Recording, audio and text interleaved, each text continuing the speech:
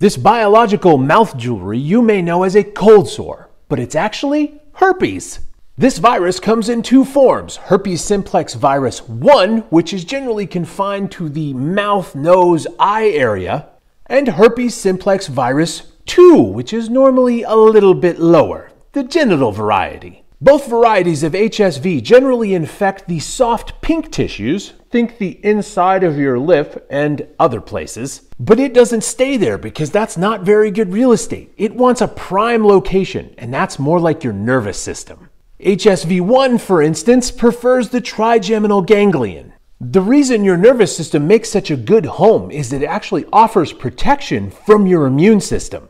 To recap, they infect down here, get access to the nerve, and then they schmooze their way retrograde up into the ganglion, where they basically become little squatters. Once the herpes virus is in there, it can actually go dormant or latent.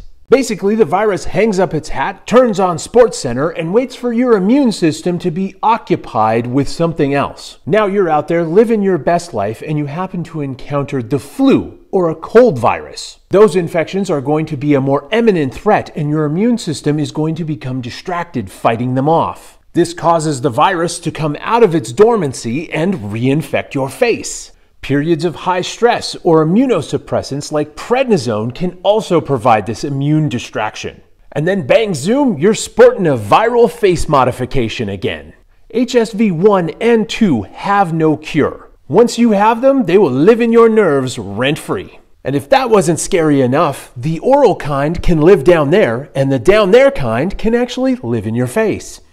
And these versions of herpes aren't rare, so let's talk about numbers. HSV1, the cold sore kind, is in about 70% of people. HSV2, the genital variety, is about 15% of people. Why is it so widespread, you ask? That's because you can spread it before you have symptoms like this. And and you can be infected with it, never have an initial outbreak of it, but have the latent reservoir inside you. And while normally it just sticks to decorating your face or your genitals, every once in a while it can actually cause things like encephalitis or multi organ failure.